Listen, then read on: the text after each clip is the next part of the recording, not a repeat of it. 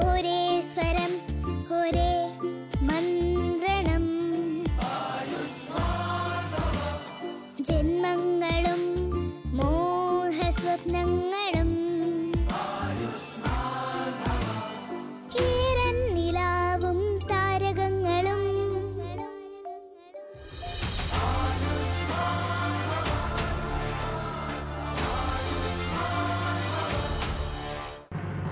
ഓ അയ്യോ ബബിത നീ എന്തായി ചെയ്യുന്നേ? എനിക്ക് വേദനിക്കും.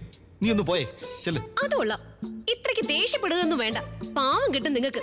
പിന്നെ ഇത് ബുദ്ധി ഉണ്ടാവാനായി പ്രത്യേകം ഉണ്ടാക്കിയ എണ്ണയാ. ഇത് തേച്ച് കഴിയുമ്പോ നിങ്ങളുടെ ഓർമ്മശക്തി വേഗം തിരിച്ചു കിട്ടും നോക്കിക്കോ വേണ്ട. എനിക്ക് അങ്ങനെ കിട്ടുന്ന ശക്തിയൊന്നും വേണ്ട. ഇനി പറയാനുള്ളത് മറ്റൊരു പ്രധാന വാർത്തയാണ്. ഹോട്ടൽ ക്ലാസിക്കിലെ പാർട്ടിയിൽ പങ്കെടുത്തുകൊണ്ടിരുന്ന എല്ലാ യുവതീവാക്കളുടെയും പാരന്റ്സിനെ പോലീസ് സ്റ്റേഷനിലേക്ക് വിളിച്ചു വരുത്തി. സമൂഹത്തിലെ പല ഉന്നതരുടെയും മക്കൾ ഇതിൽ പങ്കെടുത്തിരുന്നു. ബിസിനസ്സുകാരനായ വിക്രാന്തിന്റെ മകൾ കാവ്യ വിക്രാന്തും ഈ പാർട്ടിയിൽ പങ്കെടുത്തിരുന്നു. പഠനം കഴിഞ്ഞ് മടങ്ങിയെത്തിയ കാവ്യ തനിച്ചായിരുന്നില്ല പാർട്ടിയിൽ പങ്കെടുത്തത് എന്നാണ് അറിയാൻ കഴിഞ്ഞത്. സ്വന്തം ബോയ് ഫ്രണ്ട് എപ്പോഴും കൂടെ തന്നെയുണ്ട്. കാവ്യ പാർട്ടിയിലേക്ക് വന്നത് തനിച്ചല്ല എന്ന് ഇതിൽ നിന്നും വ്യക്തമാണ്. കാവ്യയുടെ ആഘോഷങ്ങൾ ഇങ്ങനെ പാർട്ടി ബോയ്സ് മയക്കുമരുന്ന്. ഇത് കൂടാതെ മറ്റെന്തൊക്കെയാണെന്ന് വരും ദിവസങ്ങളിൽ അറിയാം. എന്തൊക്കെ പറയുന്നേ? എന്തനാവശ്യം വിളിച്ചു പറയുന്നേന്ന്? ആരാണോ എന്റെ മോളെ പറ്റി അനാവശ്യം പറയുന്നത്? അവിടെ ഞാൻ ഒരിക്കലും വെറുതെ വിടില്ല. മതി. നിർത്താനല്ലേ പറഞ്ഞത്? നിന്റെ രോഷം പുറത്തു കാണിക്കാനുള്ള സമയമല്ലിത്. സമാധാനമായിരിക്കെ. ഞാൻ പറയുന്നത് നിനക്ക് മനസ്സിലാവുന്നുണ്ടോ? ഇതൊരു തുടക്കം മാത്രം. എത്ര പേരെ കൊല്ലും? എത്ര എത്ര ചാനലുകൾ പൂട്ടിക്കും? ഈ മീഡിയക്കാരാണെങ്കിൽ ചെറിയൊരു വാർത്ത ആനക്കാര്യം പോലെ പറയുന്നവരാ. അതും ഒരു ദിവസം നൂറിലേറെ തവണ. അതെ വിക്രാന്തേട്ടാ. സമീര ചേച്ചി പറയുന്നത് ശരിയാ. ഇവരുടെയൊക്കെ ജോലിയേ ഇതാ. ഇല്ലാത്തത് വിളിച്ചു പറയുക. പിന്നെ ഇത് കാണുന്ന ആളുകൾക്ക് ഇതുപോലുള്ള വാർത്തകൾ കേൾക്കാൻ ഏറ്റവും ഇഷ്ടവും. പക്ഷെ വിക്രാന്ത് എനിക്ക് തോന്നുന്നത് എന്താന്ന് വെച്ചാ ആളുകളുടെ വായ അടയ്ക്കുന്നതിന് ഇനി ഒരു ഉപായമേ ഉള്ളൂ. അത് കാവ്യയുടെ കല്യാണം മാത്രം. അപ്പോൾ അവൾ ഈ സിറ്റിയിൽ നിന്നെല്ലാം ദൂരെ പോയി സമാധാനത്തോടെ ജീവിക്കും. സമീറ. മോനെ. ആദ്യമായിട്ടാണ് ഇവളൊരു നല്ല കാര്യം പറയുന്നത്. മാത്രമല്ല കാവ്യയുടെ പഠനമെല്ലാം കഴിഞ്ഞിട്ടല്ലേ അവൾ വന്നത്? ഇതാണ് കറക്റ്റ് സമയം. അവളെ ഒരാളുടെ കൈ പിടിച്ചേൽപ്പിക്കുന്നതിന് അമ്മ ഇത് എന്തൊക്കെ ഈ പറയുന്നേ? അവൾ ഇപ്പോഴും ഒരു കൊച്ചു കുട്ടിയാ അവളുടെ കല്യാണത്തെക്കുറിച്ച് എനിക്കിപ്പോ ചിന്തിക്കാനാവില്ല. പക്ഷെ ചേട്ടാ അച്ഛനമ്മമാർക്ക് മക്കൾ എപ്പോഴും കുട്ടികളായിട്ടാ തോന്നാറ്. പിന്നെ അമ്മ അമ്മ ഈ വീട്ടിലെ മുതിർന്ന ആളല്ലേ? അമ്മ പറയുന്നത് അനുസരിച്ചെന്ന് കരുതി നമുക്ക് ദോഷമൊന്നും വരത്തില്ലല്ലോ. അതുകൊണ്ട് ചേട്ടൻ കാവ്യയുടെ വിവാഹത്തെ കുറിച്ച് ഓർത്തൊന്നും ടെൻഷൻ അടിക്കണ്ട. ഇത് വെറുതെ ആലോചിച്ചുകൊണ്ട് നിൽക്കാനുള്ള സമയമല്ല. പോകുന്ന സമയം തിരികെ കിട്ടില്ല. പിന്നീടാകട്ടെ എന്ന് വിചാരിച്ചാൽ അത് വളരെ പ്രയാസമായിരിക്കും. അമ്മേ. ചിന്തിക്ക്. കാവ്യയുടെ വിവാഹത്തെക്കുറിച്ച് ചിന്തിക്കേണ്ട സമയമായിരിക്കുന്നു. പിന്നെ ചേട്ടൻ അറിയില്ലേ എന്റെ കല്യാണത്തിന്റെ സമയത്ത് എനിക്കും കാവ്യയുടെ പ്രായമല്ലേ ഉണ്ടായിരുന്നത്? പിന്നെ വിക്രാന്ത് കാവ്യ ഇന്നലെയും നമുക്ക് കുട്ടിയായിരുന്നു. ഇന്നും അതെ നാളെയും അവൾ അങ്ങനെ തന്നെ ആയിരിക്കും നമുക്ക്. പിന്നെ ഞങ്ങൾ എല്ലാവരും ഈ കുടുംബത്തിന്റെ നന്മയ്ക്ക് വേണ്ടിയാ പറയുന്നത് ഒരു പ്രാവശ്യം സമാധാനമായിരുന്നു ഇരുന്നു ആലോചിച്ച്. അപ്പൊ മനസ്സിലാവും ഞങ്ങൾ പറയുന്നത് ശരിയാണെന്ന്. പപ്പാ പപ്പ ഇത് കണ്ടോ? ചക്കി ഒന്നും കഴിക്കുന്നില്ല. എത്ര നേരമായിട്ട് ഞാനിത് കൊടുക്കുന്നറിയോ മോൾ വിഷമിക്കണ്ട. മോളെ കുറിച്ച് ചിന്തിക്കാനും പിന്നെ മോളുടെ ഈ ചക്കിയെ കുറിച്ച് ചിന്തിക്കാനും ഈ ഞാനില്ലേ?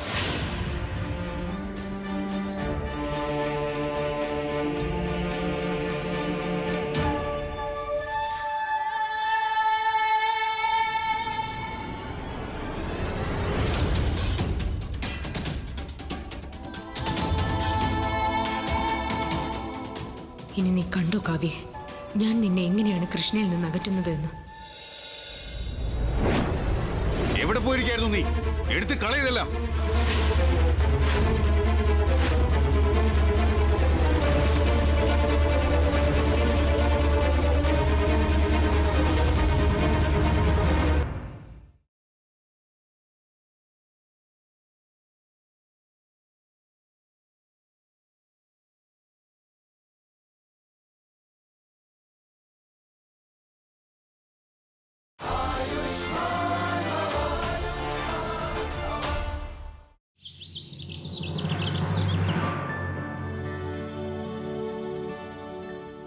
ശങ്കരേട്ട ഇതെന്റെ ഭാര്യ സമീറ.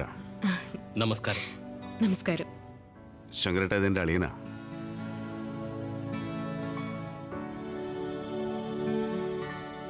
ദാദാ അമ്മ. ഈ വീടിന്റെ എല്ലാം എല്ലാം. നമസ്കാരം അമ്മേ. അമ്മ ഇത് എന്റെ ഒരു പഴയ ഫ്രണ്ടാ ശങ്കർ. ഇത് ഇദ്ദേഹത്തിന്റെ ഭാര്യ പിന്നെ ഇത് മകൻ സിദ്ധാർത്ഥ്. നമസ്കാരം. പഠിച്ചതൊക്കെ അങ്ങ് പുറത്താമേ നമ്മുടെ കാവ്യെ കാണാൻ വന്നതാണ്. നിങ്ങൾ ഇരിക്കണം പ്ലീസ്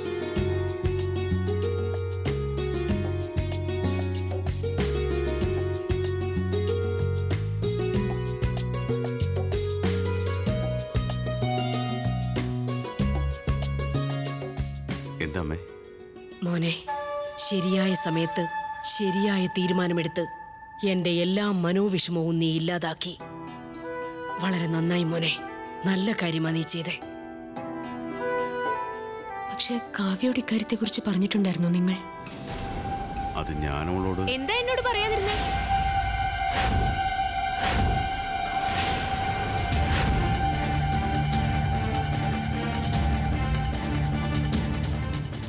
നോക്കുമ്പോളെ നിന്നെ പെണ്ണ് കാണാനാ ഇവർ വന്നിരിക്കുന്നത്. അതും അങ്ങ് വിദേശത്തു നിന്ന്. വാട്ട് എന്നെ പെണ്ണ് കാണാൻ വന്നോ എന്നോട് ഒരു വാക്ക് പോലും ചോദിക്കാതെ? കവിയ പതുക്കെ പതുക്കെ സംസാരിക്കും മോളെ. പപ്പ എനിക്കിപ്പോ കല്യാണമൊന്നും വേണ്ട. എന്നോട് എന്തുകൊണ്ടാ ചോദിക്കാതെ കാവ്യ ഞാൻ നിന്നോട് പറയാൻ വരികയായിരുന്നു. എപ്പോ?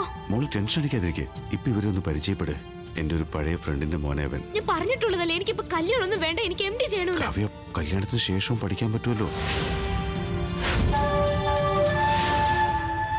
സിദ്ധാർത്ഥ നിന്നെ പൊന്നുപോലെ നോക്കിയോളും. ഒരു സങ്കടവും നിനക്കുണ്ടാവില്ല.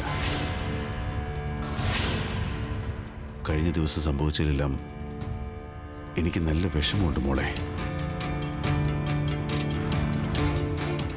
ഞാൻ ആഗ്രഹിക്കുന്ന ഈ കുടുംബത്തിന് വേണ്ടി നമ്മുടെ എല്ലാവരുടെയും സന്തോഷത്തിനായി നീ ഈ കല്യാണത്തിന് സമ്മതിക്കണം.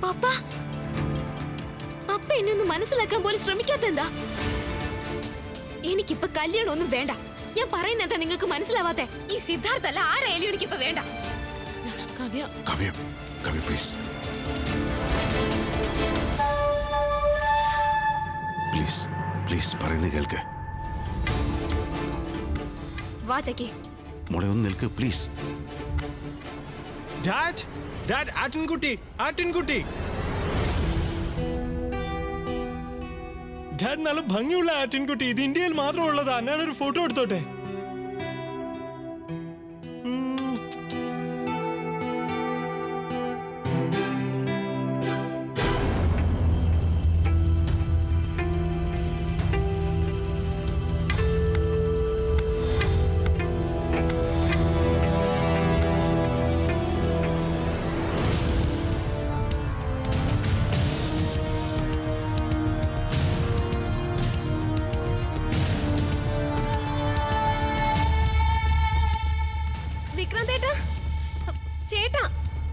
ചേട്ടൻ ഇത് കണ്ടോ? കാവ്യയുടെ ന്യൂസ് വാട്സപ്പ്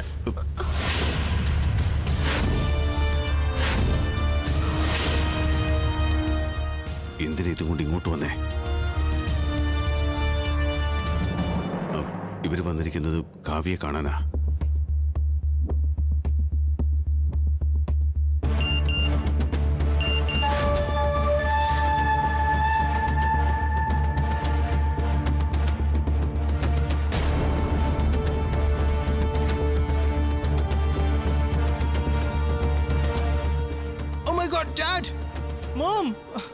ഇത് ഞാൻ കല്യാണം കഴിക്കാൻ പോകുന്ന പെൺകുട്ടിയാണ്.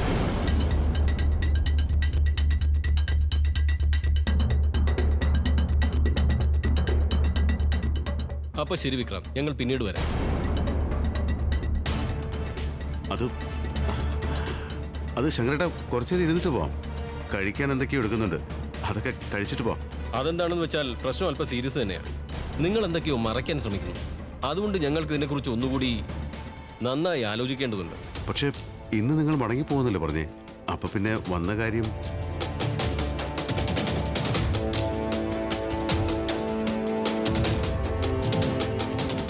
വന്നതൊക്കെ ശരി തന്നെ പക്ഷേ നിങ്ങൾ എന്തിനാണ് ഞങ്ങളെ ക്ഷണിച്ചത്? ഈ തമാശ കാണിച്ചു തരാനാണോ?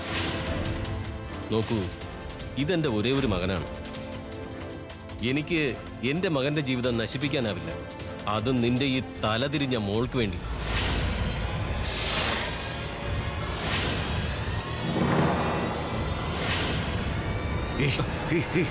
ശങ്കർ ആരോടാണെന്ന് ഓർമ്മിച്ച് സംസാരിക്കണം.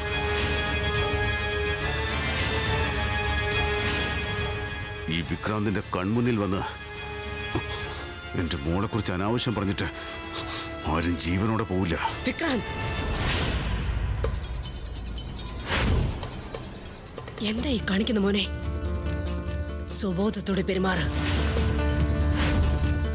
നീ ഓർമ്മിച്ചോളൂ. നിന്റെ ഈ ദേഷ്യം കാരണം നമ്മുടെ കുടുംബത്തെ ബാധിച്ച അഗ്നി കൂടുതൽ ആളിക്കത്തുകയുള്ളൂ.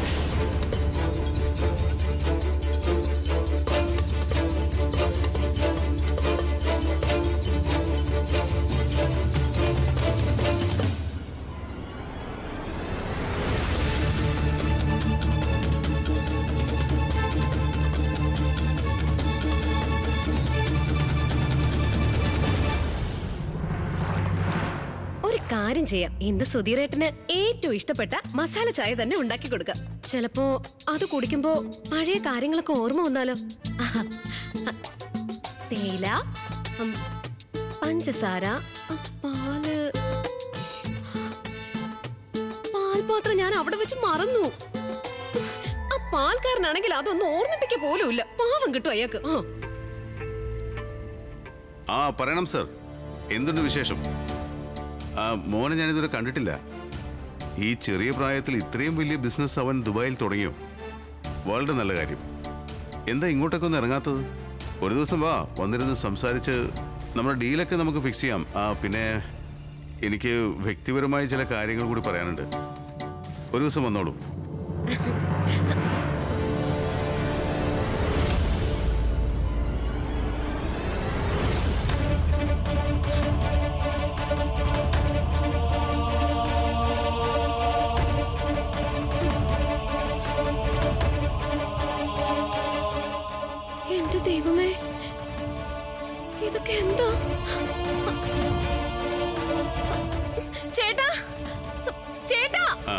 ചേട്ടാ ചേട്ടാ വേഗം വന്നേ. ഒരു മിനിറ്റ്. പുറത്ത് എന്താണെന്നൊന്ന് വന്ന് നോക്ക്. പുറത്ത് എന്ത് കാര്യമെന്നാ? അത് ചുമര് മുഴുവൻ എന്തൊക്കെ കൊണ്ട് ഒട്ടിച്ചിരിക്കുന്നു? എവിടെയാണെന്ന് പറയുന്നത് ചേട്ടൻ അങ്ങോട്ട് വന്നൊന്ന് നോക്ക്.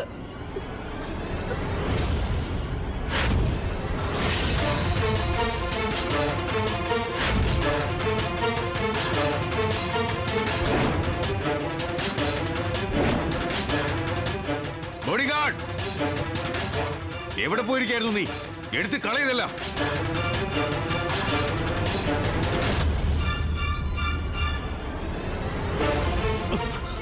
ഇതെന്താണമ്മേ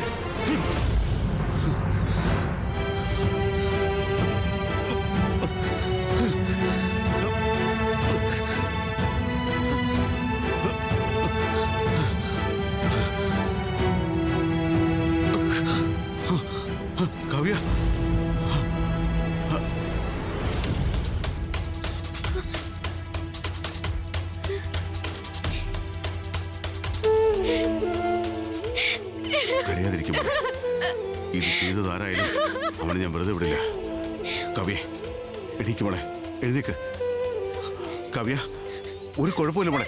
കാവ്യ!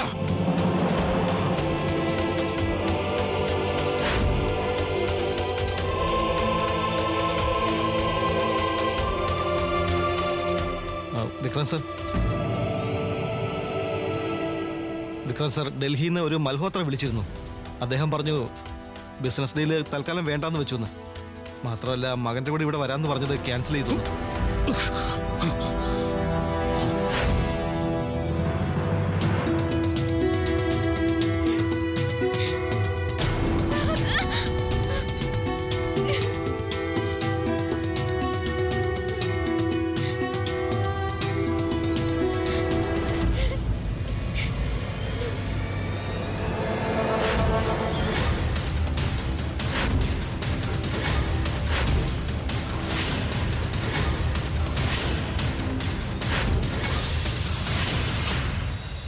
സമാധാനമായിരിക്കാൻ. എങ്ങനെ സമാധാനിക്കും ഞാൻ? എന്തൊക്കെയാണ് മോളെ കുറിച്ച് എഴുതിയിരിക്കുന്നതെന്ന്? എന്തൊക്കെ അനാവശ്യങ്ങളാണ് പറയുന്നതെന്ന്? ഞാൻ ആ ബോഡി ഗാർഡിനെയും പിന്നെ അവന്റെ കൂടെയുള്ള ഓരോരുത്തരെയും വെറുതെ വിടില്ല. ഈ വിക്രാന്തിന്റെ മോളെ തൊട്ടിട്ട് ആരും അങ്ങനെ സന്തോഷത്തോടെ കഴിയണ്ട.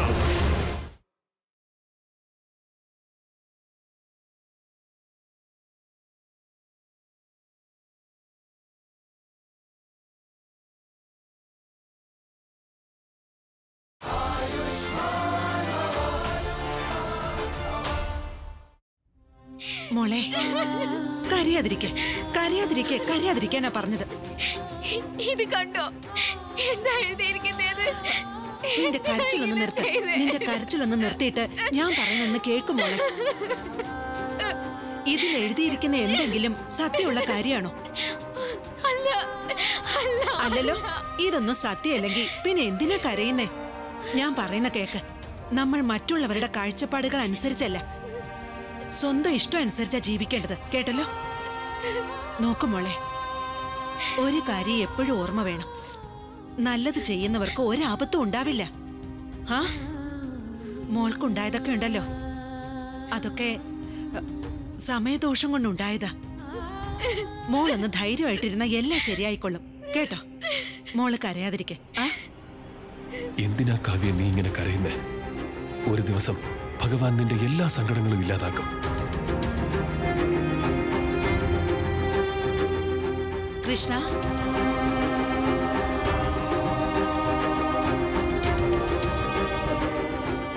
കൃഷ്ണ അകത്തേക്ക് വാ. കൃഷ്ണ? മോനെ നിക്ക്.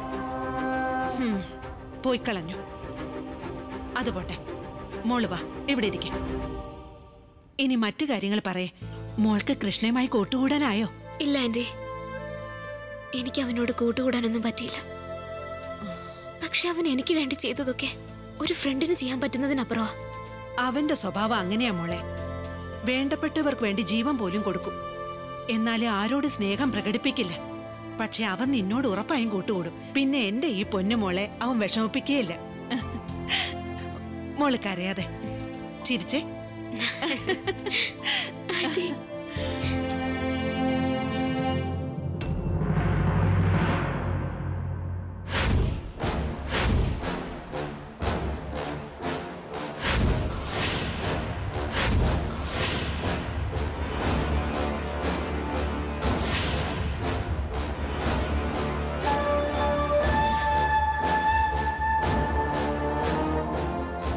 നിന്റെ ഈ ദേഷ്യം നല്ലതിനല്ല.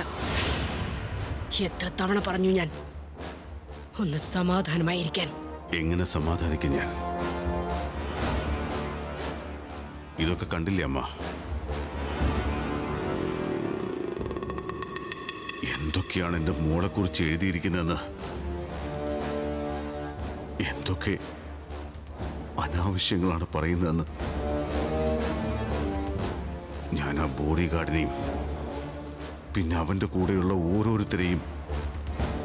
വെറുതെ വിടില്ല ഈ വിക്രാന്തിന്റെ മോളെ തൊട്ടിട്ട് ആരും അങ്ങനെ സന്തോഷത്തോടെ കഴിയണ്ട.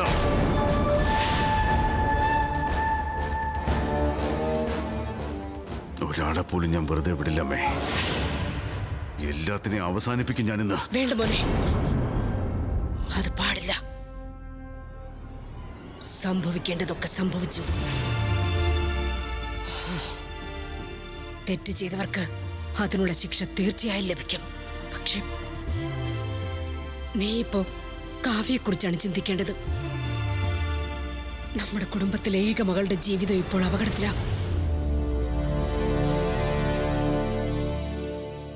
മോനെ നമുക്ക് അവളെ രക്ഷിച്ചേ പറ്റൂ. അതെ മോനെ നീ ഒന്ന് സമാധാനമായിരിക്കാൻ ഞാൻ കുറെ ആലോചിച്ചോമേ. എനിക്കറിയാം എന്ത് വേണമെന്ന്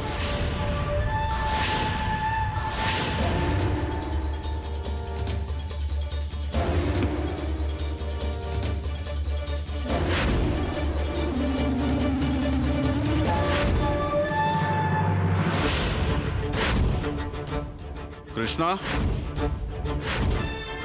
Krishna! Krishna! എന്താ സർ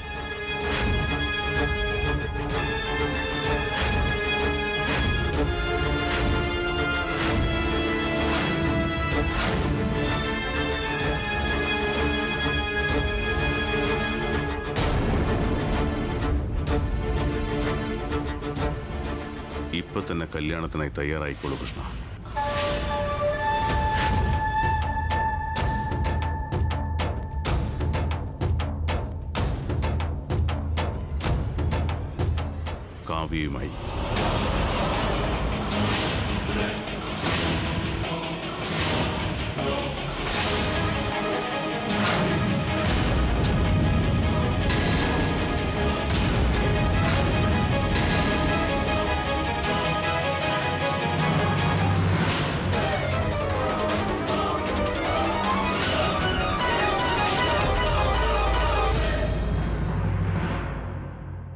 എനിക്കറിയാം കൃഷ്ണ. വിവാഹം പോലുള്ള തീരുമാനങ്ങൾ ഇങ്ങനെ അല്ല എടുക്കേണ്ടത്. എന്നെക്കാൾ കൂടുതൽ ടെൻഷൻ നിനക്കാണെന്നറിയാം. കൃഷ്ണ എന്ത് തീരുമാനമായാലും അത് ആലോചിച്ച് വേണം എടുക്കാൻ. എനിക്ക് വേണ്ടി നീ വളരെയേറെ സഹിച്ചു കൃഷ്ണ. ഇനിയത് വേണ്ട.